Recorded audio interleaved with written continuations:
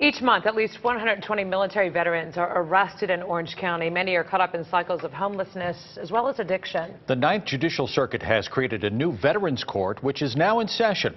WESH 2's Amanda Ober is live. And Amanda, how did it go? Well, of the seven veterans who appeared in court today, two were accepted into the program. Two more started the process of qualifying, and the others were not accepted. It wasn't entirely smooth sailing. State Attorney Jeff Ashton is expressing his concerns about this program. He's worried that some veterans could abuse it to get lighter sentences rather than have a sincere desire to turn their lives around. Have been a lot of people working incredibly hard behind the scenes to make this thing happen. Judge Jerry Brewer opened the first session of the Orange Osceola County Veterans Court Wednesday. It's intended to keep military veterans who land in trouble out of jail by connecting them with programs that can help them with the variety of issues they face.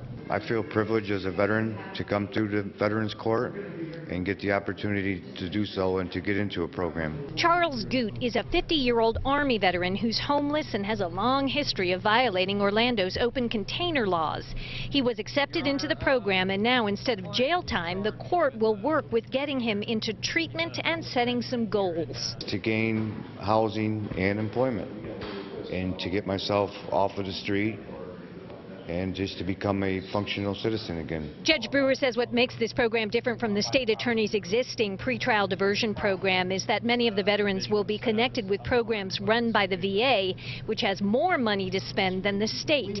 But state attorney Jeff Ashton did express his concern, saying he believes the program could be abused and must move slowly. My opinion is that the worst thing we can do in this program is to overpopulate it in the beginning um, we need to very carefully decide who we allow in and who can be helped. Now, the veterans who participate in this program will have to be approved by the state attorney. Also, if there is a victim in their crime, the victim will have to sign off. For now, Veterans Court will be held every three weeks or as needed. In Orange County, Amanda Ober, WESH 2 News.